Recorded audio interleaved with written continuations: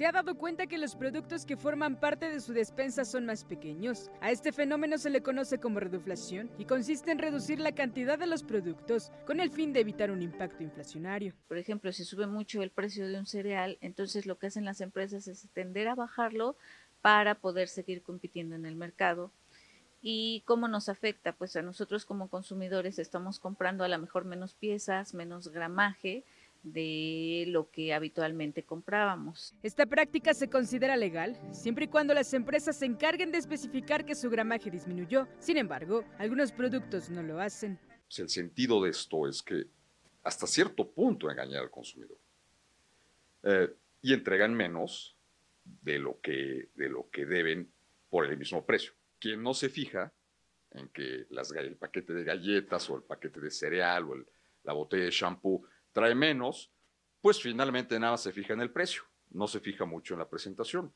Y claro, le rinde menos y tiene que volver a comprar este, con mayor frecuencia, mermando así su poder adquisitivo. Para saber si algún producto sufrió reduflación, la reducción de su contenido debe ser entre el 5 y 10% del volumen total del artículo. Un claro ejemplo de la reduflación es esta nota de venta de frituras, en donde nos asegura que trae 45 gramos este empaque. Sin embargo, a la hora de agarrarlo, trae 42 gramos.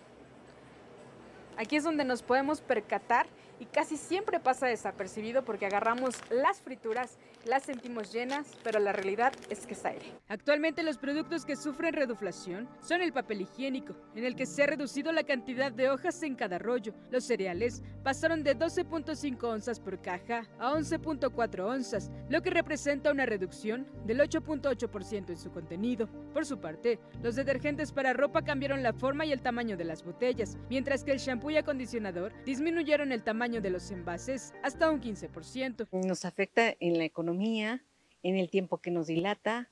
Si nos dilataba un mes, nos dilata 20 días. Eh, muchas veces no nos damos cuenta pero, pero sí lo vemos cuando ya lo estamos ocupando el producto. Los consumidores pocas veces se dan cuenta de este fenómeno, pues la mayoría se guía únicamente por el precio y la marca y no por el peso de los productos. No, la marca no la cambian se les ofrece otro producto de mejor calidad a menor precio y se van con las de mayor mercadotecnia. No se dan cuenta ustedes, realmente hasta que no abres el producto y si antes traías 10 gomitas, ahora traes 8, entonces sí te vas a dar cuenta. Pero la gente no pesa el producto. Si usted no quiere caer en la reduflación, le recomendamos que observe cuidadosamente el contenido de sus productos. Además, es importante que tenga distintas opciones para no casarse con una sola marca. Y es que no en todos los casos se puede aplicar la frase de lo bueno poco. Diana Laura Valencia, Imagen Noticias Puebla.